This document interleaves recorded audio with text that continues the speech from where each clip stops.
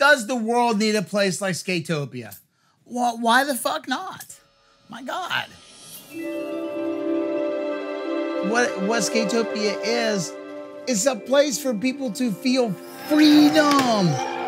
To get away from their fucking useless jobs, their fucking maniacal fucking money schedule, where they have to fucking constantly fucking be obedient to the man so he can fucking control their lives 90% of the time. Freedom is hard to find.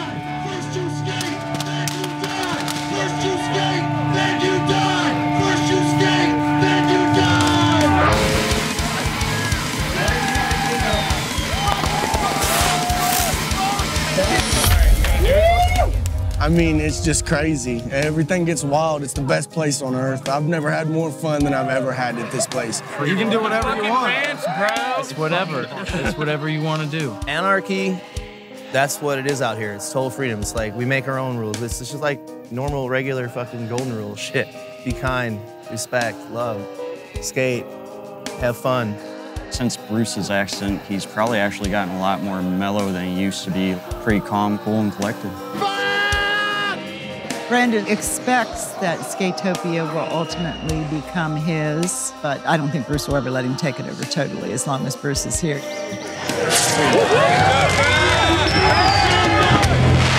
It's so cute to make sense. I like making sense.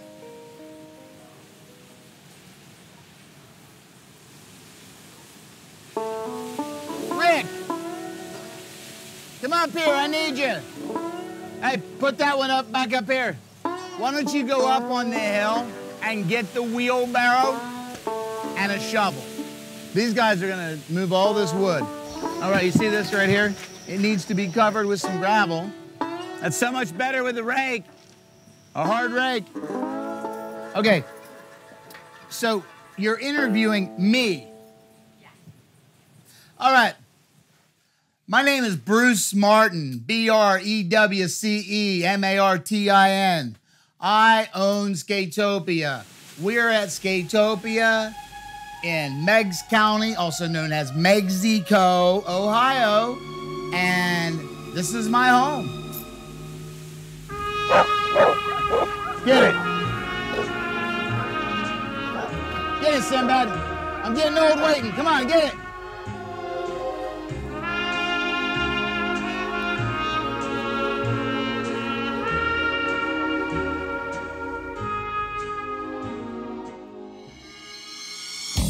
The Bowl Bash is a way to bring a lot of people together that have similar ideas. So, at times, it can bring financial success Empty your pockets. Shake down. where we could build a new bowl, work on the roads, do anything that we may need to do. But the real reason for Bowl Bash is skateboarding, freedom, music, sex, fun. Normally, when people come to Skatopia, I bring them in here to the museum. I, I, I can't tell you how much good shit there is here. Epic shit. This is the board I was skating when I got sponsored by Dogtown and went pro. In 1990, my mom bought this at a yard sale. This was my first wooden board. This is me riding that board. Right here, I was showing you. It was a great one. That's my mom. That's my mom skating. My mom is epic, also known as the old butt steak or Big Mama, depending on which day you see her. And I can't say nothing but great shit about my mom. So, this is the ramp that was in my mom's basement.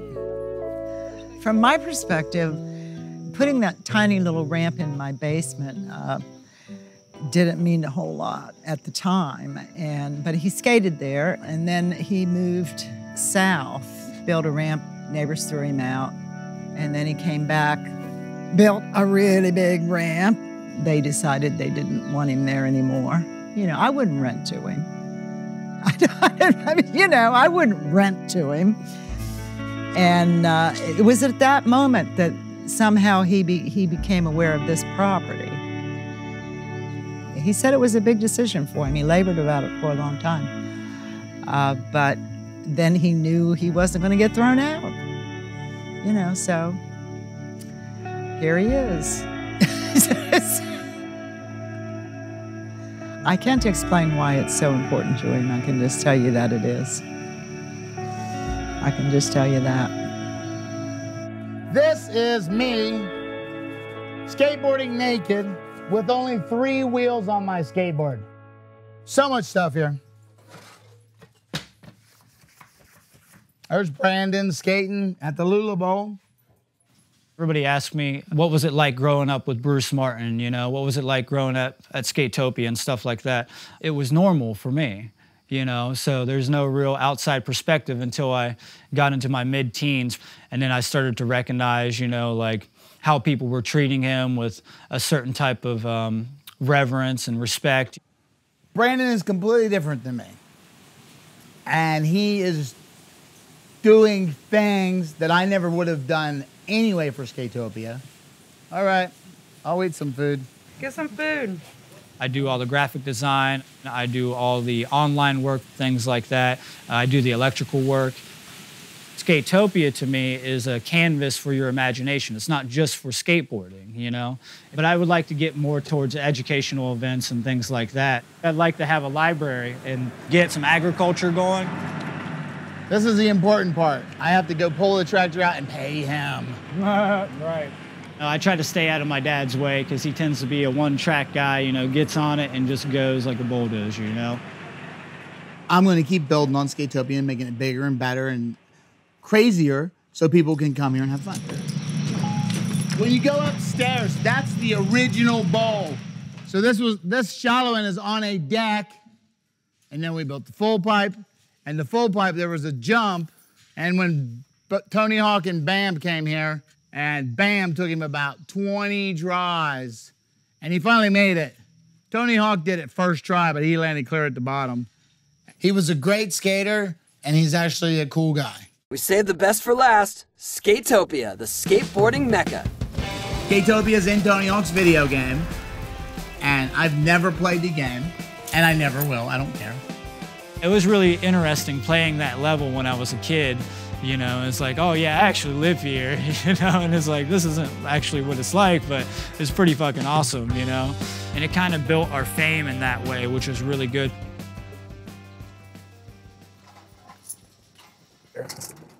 What happened here? I broke my hand.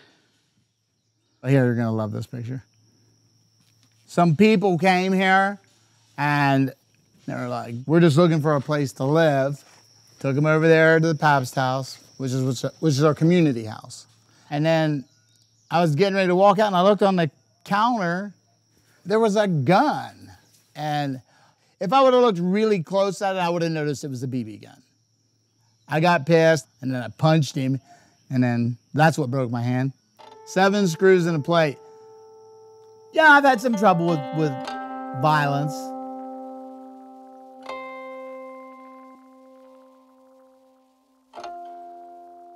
Violence has been a problem in my life, but I'm trying to get away from that. that that's one thing that I'm really trying to get away from.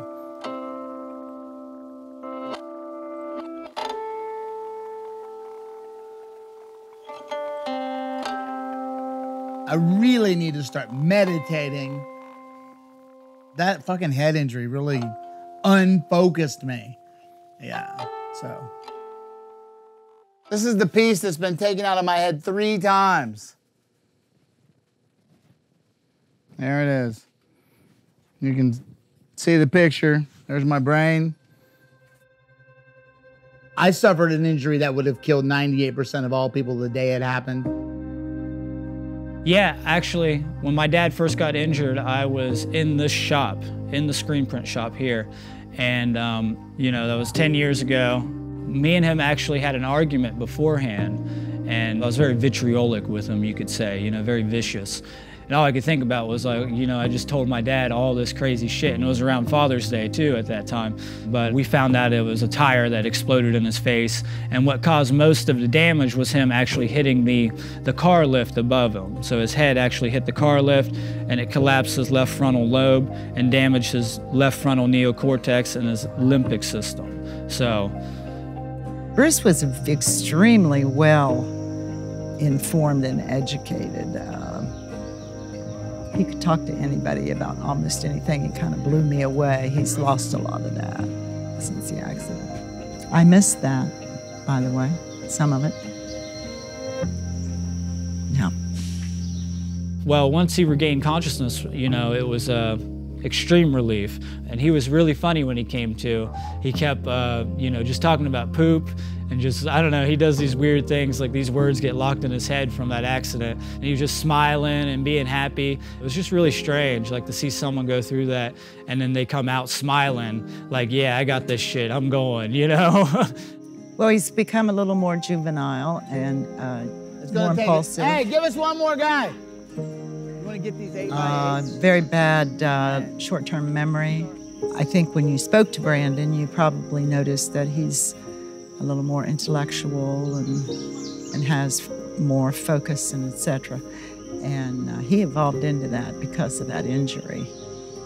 It definitely made me have to rethink my overall goals. Before the accident, I was, you know, just party, party, party. And then after the accident, that really kicked me in the butt and made me really like reanalyze what was going oh, on. God, the snatchers. Look at you guys pooping for free. Look at Molly. Told you the poop, right? Where's the posters? Be careful, they might slide out the bottom. Well, I've got Iron Maiden.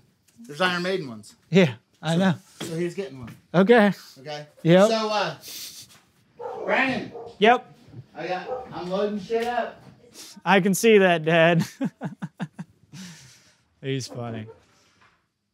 Ever since my head injury, you know that that really affected me. Really affected me. I couldn't skate for two years after the head injury. I still, if I look at you like that, you have four eyes, two noses, two hands, two mouths. But it used to be two people about 20 feet apart, and they slowly got closer together. So it's it's still getting better. There you go. Let's go, Digolo. You know, like 10 a.m. Homebrewed Skatopia lifestyle, man. Yeah. Skatopia. Y'all better be fucking killing for Jesus over there, motherfuckers. Burn your car and donate it, motherfuckers.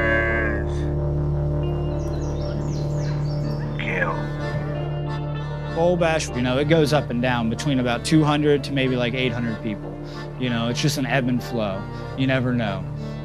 I've been coming for a couple of years now, and so it's always been about the same. Maybe sometimes it's hit or miss, you know? I don't know. I have a great time every time I'm Yeah, I, you know what? We just kind of skateboard and don't even pay attention, man. We just. Bullshit and party and bullshit and party. It is not about anything but fucking realism. Skate or die. Don't do drugs. Actually do. Maybe not. I don't know. I'm a turtle. Like the freedom to do almost anything I want. Like just have as much I fun as I want. shoot want. off guns with my friends. You're not saying that. I wanted to just get wasted. Yeah, us party. fucked up. This is one big party. Cheers, dog. Skatopia. Like when I think about Skatopia, I just think about like a fun time with your With my yeah, with my friends, and then I get to skate, and like no one's judging me, and like I just love it here. Like I come here every year. Hey, Big Mama, look at this. This is the lady that fucking made it all possible right here.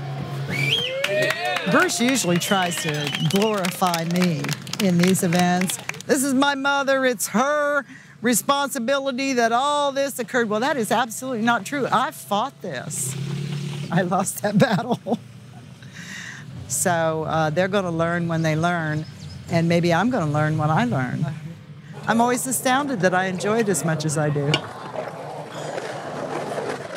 It's amazing how different the skating styles can be.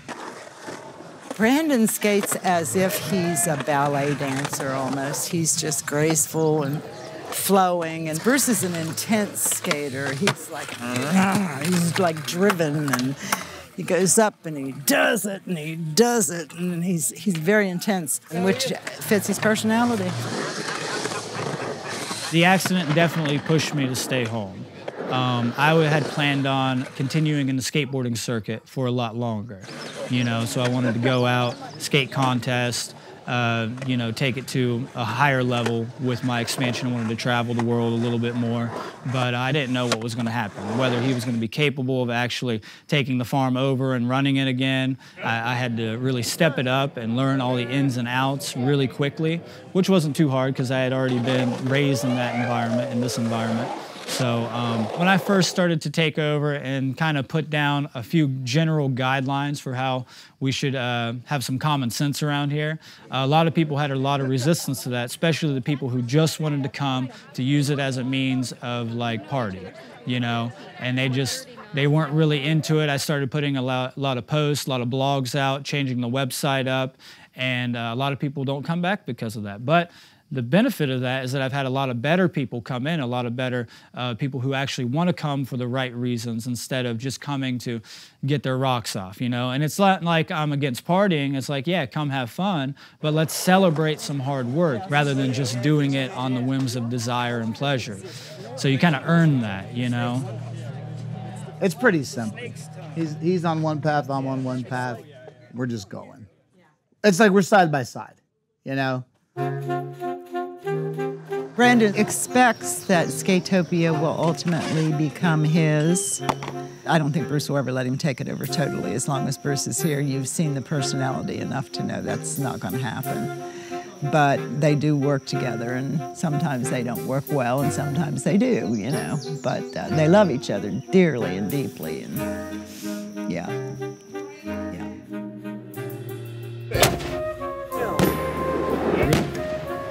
Oh, when you pack for Skatopia, bring plenty of socks and plenty of drugs and alcohol. You're fucking filming me do this, dude. Hey, camera guy, show me your boots. We all came from Youngstown, Ohio. I like the fact that you don't have to worry about what the person next to you is gonna do. Yeah. It's just you have free will to be yourself and do what you want. Because everybody's so welcoming and so nice, and like you could just walk down the road and somebody will just greet you. You're automatically friends.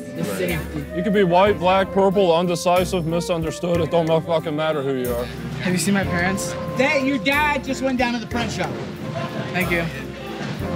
Yeah, my mom used to bring me up here when I was younger, but when it got dark time, it was time, like she took me home because, you know, stuff happens at dark time that no little kid should see. I'm just nibbling on a little mushroom stem. Yeah. Those lights are cool. wow, really cool. Well, it's 12 foot nine. It's called the Punisher. I'll, I'll skate it tonight a little bit. Um, a lot of people are scared of it. It basically is the heart of Skatopia.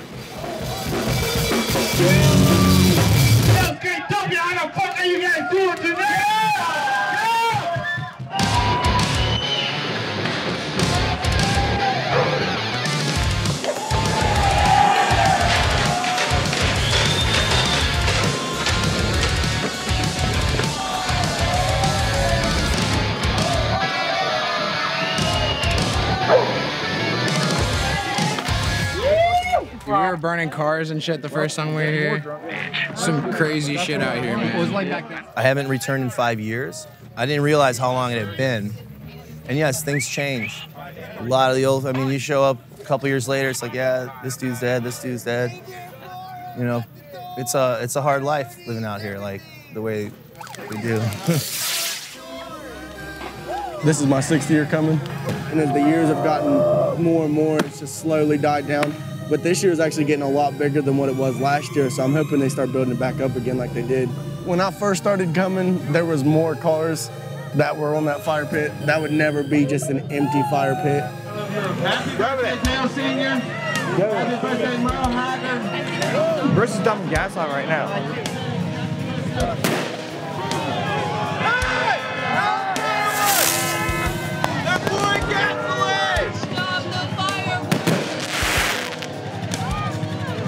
A lot of these people come from like cities and shit and can't do anything in a city in a suburb. Can't light a fire, can't blow something up. But that's not what uh, all it is. It's a very peaceful place. It's building, you know. Build, destroy, repeat.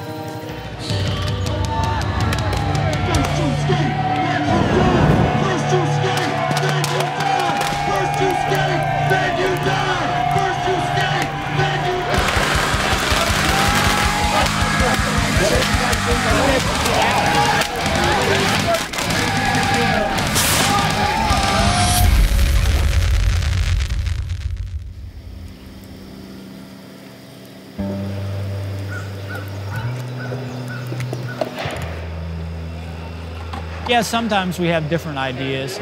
Um, the main thing is is that I'm very patient, you know, so I work around him the best as possible. So the real change won't happen until I actually own the place. So I'm just working around until I can get into that position.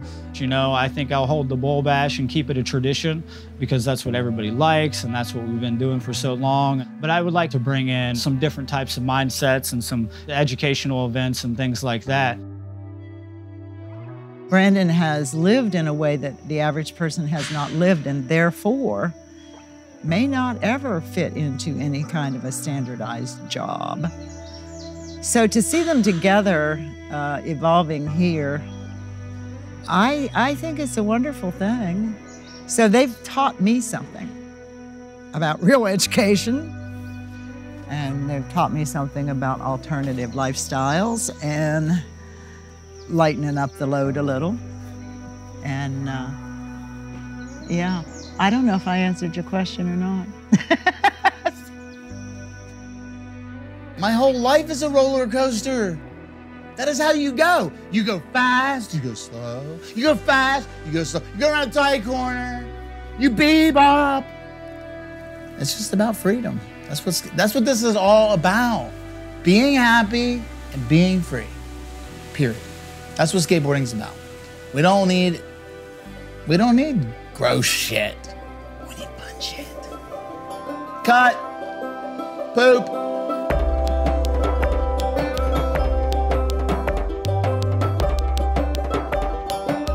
This is done by my friend John. He was diabetic and he couldn't get a boner and keep it. He started dating a nurse. She got him on Viagra. The next thing you know, he was dead. Bummer.